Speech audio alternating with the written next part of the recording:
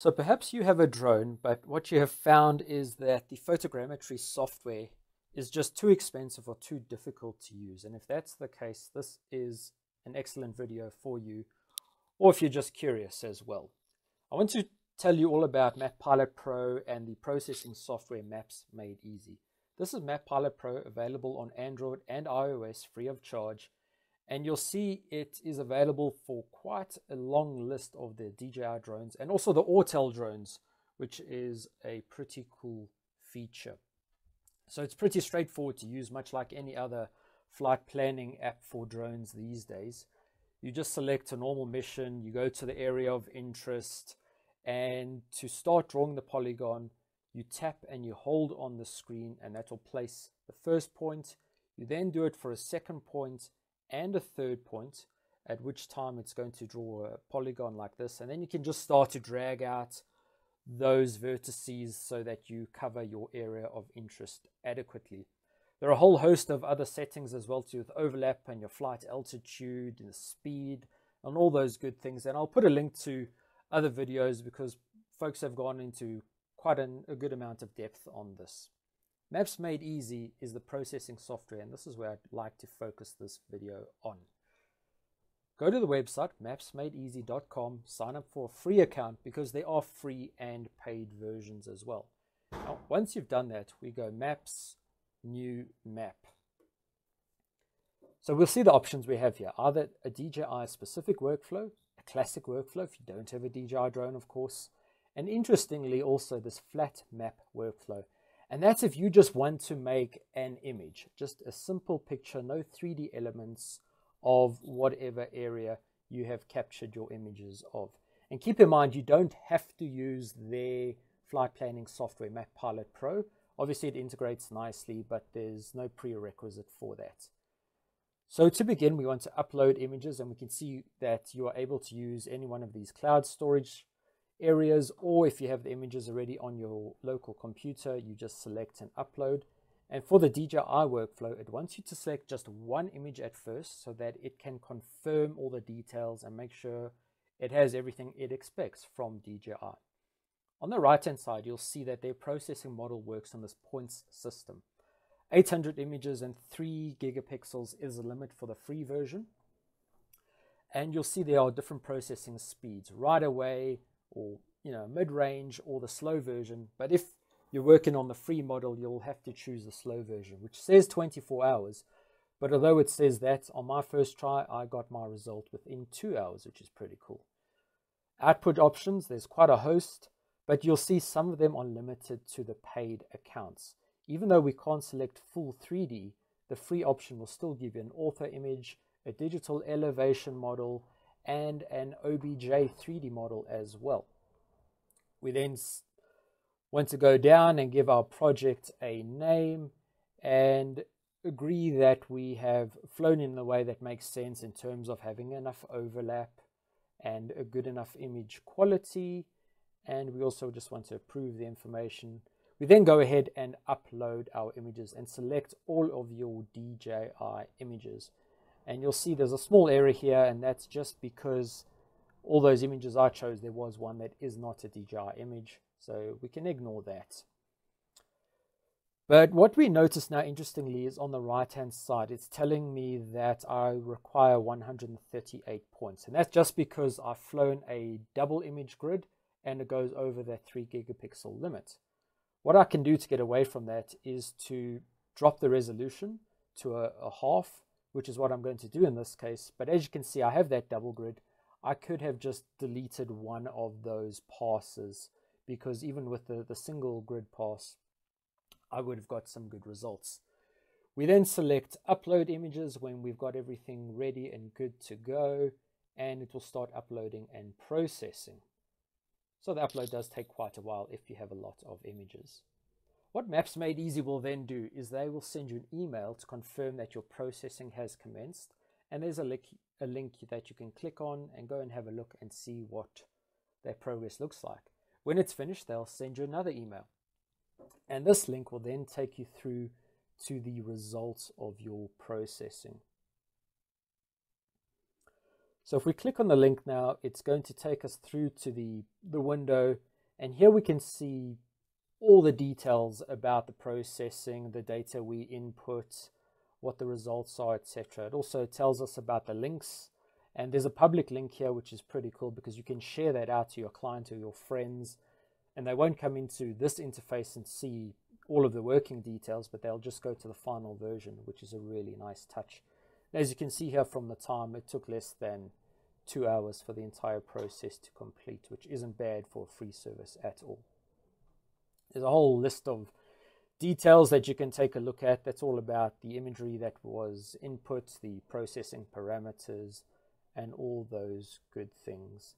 And on the right hand side, we see download options because we're able to actually download all of this data to work offline as well. And we will take a look at that a little bit later.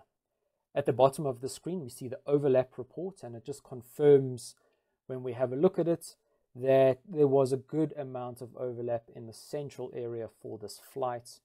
And on the periphery, we can see where there was less overlap, and obviously, we expect the accuracy to be a little bit worse in those regions. Also, keep in mind, this is a free service, so we're not expecting the world's greatest results, but to be honest, it's pretty impressive considering what we are not paying for it. Very nice in this viewer is that we can also turn on the elevation model and we see the color grid there at the bottom and it looks to be quite accurate compared to what I know this terrain is. On the left hand side, a whole lot of tools where we can draw polygons. So let's go into the full screen view and see what we can play with. So this is the full screen view now, obviously, and we have our ortho image loaded over there. And as we zoom in, we wait for it to load a bit. And even though this is processed at half resolution, the result is not bad at all. Again, when we do get to the edges, the periphery of the image or of the capture area, we do see some smearing and drop off. 100% expected. That would always happen regardless of the software we're using unless we clipped the boundaries. We want to start placing some elements. So very nicely, there's a line tool here. So we place the line tool and you can see as we click on these vertices, it updates to tell us what the length of that line is. It also gives us a warning to say that what changes we make will be or could be visible in the public version and we either accept or reject that. We can also place these place markers, we can give them name, we can annotate them as well, place polygons, place shapes, all sorts of different things. It does keep giving you this public warning, so just keep that in mind. And we can also go ahead and then change the colors if we want of the, polygons or the shapes that we're placing. So now I'm going to place a polygon and then see something very interesting. So I'm placing this polygon and I'm clicking to close. So first I get that public warning, but very nicely I get this volume measurement option. So even though this is free, it can calculate volumes. The volume value over here doesn't look quite right, so it, it might need a bit more investigation but really cool to see that that feature is available on a free service. So we can go ahead and we can edit any of these shapes that we've placed. We can move them around. We can change the color. We can resize them. We can measure them. We can do whatever we would like. Keeping in mind that this is a really cool tool which we could use to present to a client or even to our friends and family. Just show them this is the area of flow and this is something that's interesting over here so they, they really have thought of almost everything. Coming back into the detail view, you want to just go down and highlight the public link option. Again, once we've made any of those edits and annotations, this is what we could select and share that out via email or Twitter, WhatsApp, whatever your preference is to our friends and family. But now I want to take a look at the download options. So if you're an advanced user, a really nice feature is that even though all the processing has happened on the cloud, we are able to download some of these tools and play with them ourselves. So I'm going to take a look at Global Mapper. You'll know it's one of my favorite tools. And here I'm importing the point cloud, the DTM, as well as the image. So I'm going to keep this in meters just because my global mapper is set to work in meters.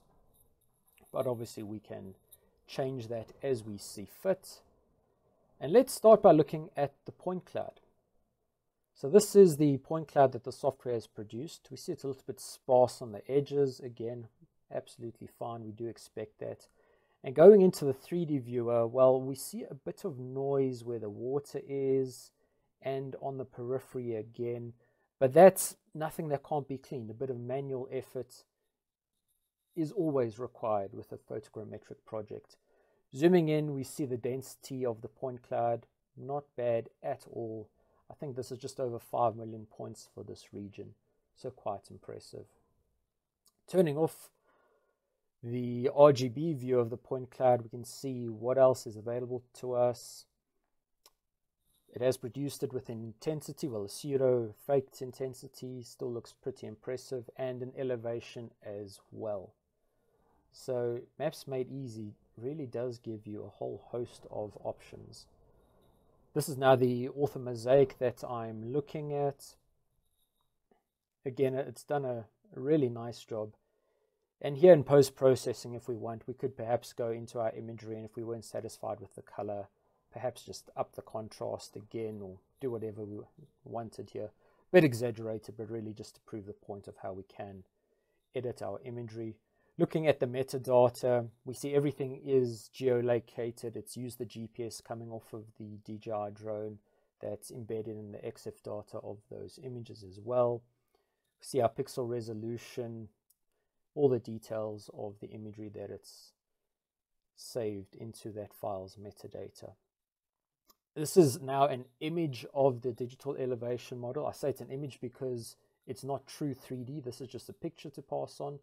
But here now we have the true 3D digital elevation model. And we can see our scale bar on the left hand side.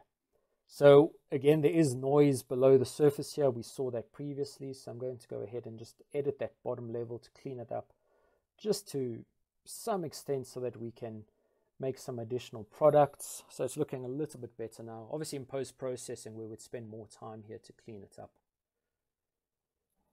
And well, let's go ahead and generate contours. Why not? Let's see what they look like. Again, considering this is a 100% free service, let those contours be generated.